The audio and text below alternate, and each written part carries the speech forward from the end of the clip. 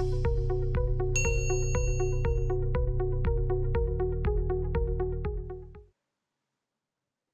everyone, I'm Baba Khandelwal and I welcome you all to Simplilearn's YouTube channel.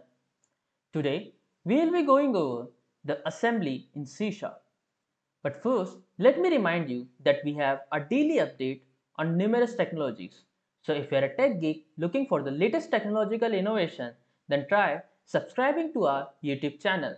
And don't forget to hit that bell icon so you never miss an update on Simplilearn. So now Without any further ado, let's get started with the agenda for today's session. We will begin our session with a discussion on what is assembly. We will also go over the content of the assembly. After that, we will discuss what an assembly cache is. Then, we will have a look at the types of assembly along with the global assembly cache. Finally, we will wrap, wrap this session with the demo on private assembly. So, without, without further ado, let's get started with the simple trivia. So now, what is a metadata? Is it a data about data creation, a data about author, a data about the data type, or all of the above? Make sure to comment down below to answer your response. So now let's get started with the discussion on what is C-sharp assembly. First, an assembly is a combination of types and resources intended to work together to form a coherent block of capabilities. Based on the scope, an assembly can be a DLL or an EXE.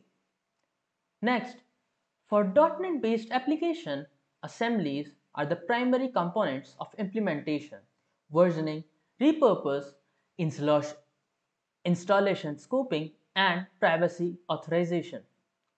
A reflection can be used to obtain information about an assembly programmatically. At last, assembly provides the necessary information for the common language runtime that is CLR to be informed of type implementation. A type does not exist anywhere except the context of an assembly according to the runtime. Next, let's go over the content of assembly. An assembly comprises of seven content. First up, manifest. The manifest contains the data about all of the parts that are considered to be the part of the assembly itself. The data in the manifest is also referred to as metadata. Next up, we have assembly name. Now it helps in version control and visibility scope. Then we have version information, the assembly's identity. It includes the version number. Next type, next is types. The types define the scope and the boundary of methods, classics, properties, events, and attributes. After that, we have locale which defines the information about the language or the culture. Then we have cryptographic hash. It is the public key encoded hash acting as the version security check. Finally, we have security permissions. The permissions that can be permitted for all facets of the assembly's content are determined by the privileges within the assembly. Next up, we have assembly cache. Now, when you install the .NET SDK, the framework creates a repository on your system. The assembly cache is the term coined for this repository. Also, the cache is divided into two sections, the private and global. Now, shared assemblies are stored in the global cache the private section may, be, may contain restricted files for an application. So the files are downloaded by our application during runtime are also saved in this cache private section. Finally, all assemblies in the global cache must be shared and have distinct namespaces. The folder name holds the information about the assembly's distinct identity. The assembly cache can be identified in your Windows directory in the assemblies subfolder. Next, let's go over the types of assembly. Now, there are two types of assembly in .NET, the process assembly and the library assembly. Process assembly has .exe files while the library assemblies has .dll files. The library assemblies are of two types. We have a private assembly and shared assembly or a public assembly. First up, private assembly. Private assemblies must be copied separately in all applications folder where the assembly's functionality are to be used. Without copying, we cannot access the private assembly's features and power. Now when we have a private assembly, we can only copy into the bin folder of each application folder. Next, we have shared or public assembly. Now, it is not necessary to copy into each application folder separately. The shared assembly is another name for a public assembly. At the system level, only one copy is required. There is no need to copy the assembly into the application folder. Next, we have global assembly cache.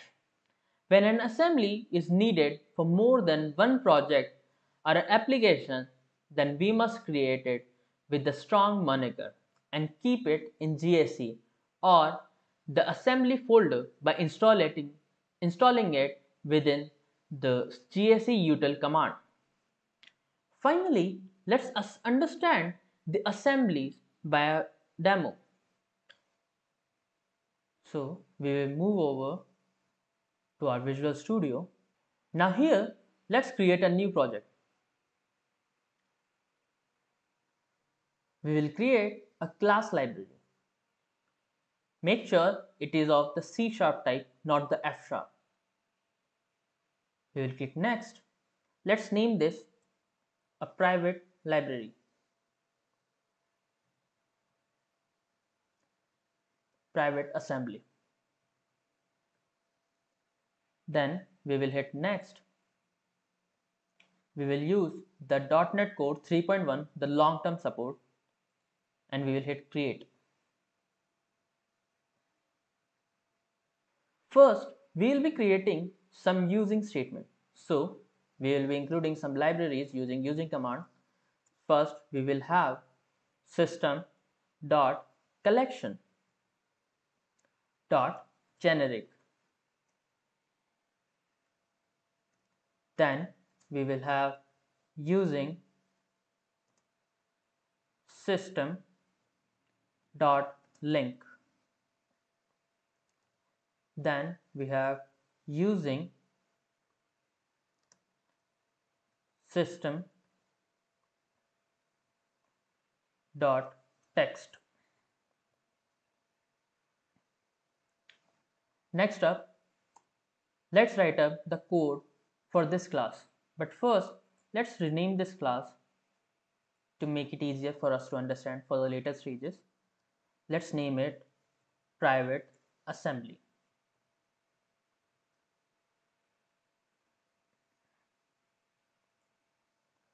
This will ask us to change the class as well. So we will go ahead and click yes. And this will change the class as well.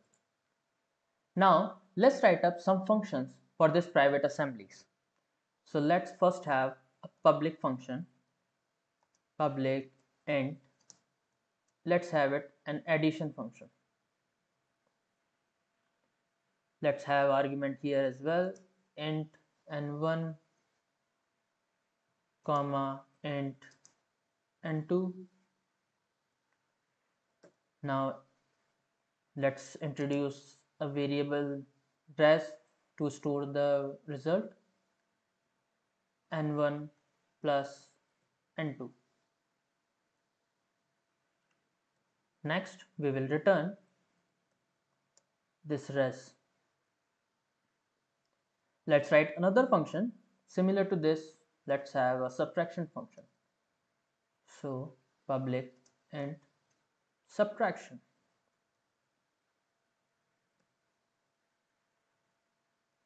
So int n1 comma int n2 Similarly, we will introduce res function, res variable to store the result n1 minus n2 and we will return res.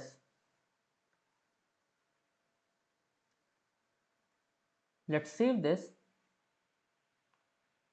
Now we will add another project.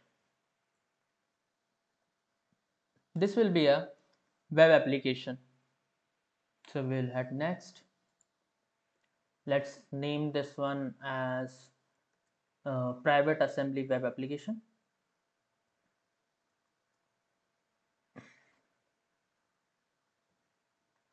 Let's use the framework as 4.7.2 and hit create.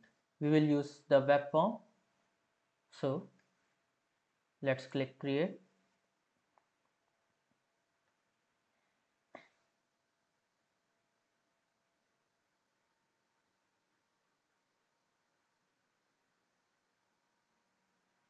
and here we have the web application. Now let's build both of these. Okay, so first what we will do is we will right click this and go on open folder in file explorer. This is the folder. We will go into this bin folder now what we are looking for here is the private assembly.dll which signifies that uh, the private assembly is now present in our web application as well. So we have private assembly web application.dll but not the private assembly.dll. So to do that we will go back to our Visual Studio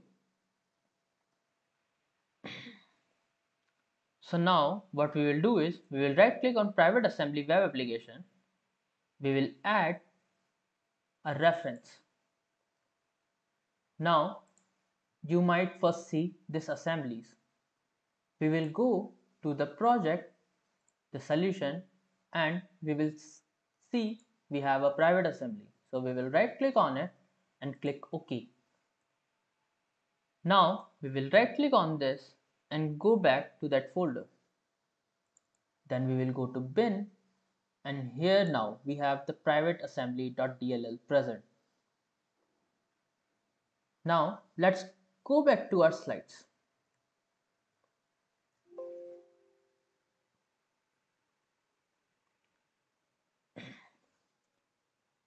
And this was all for today's session. Hope you guys found it informative and helpful.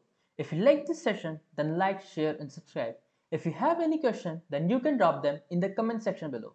Thanks for watching and stay tuned for more from Simplilearn.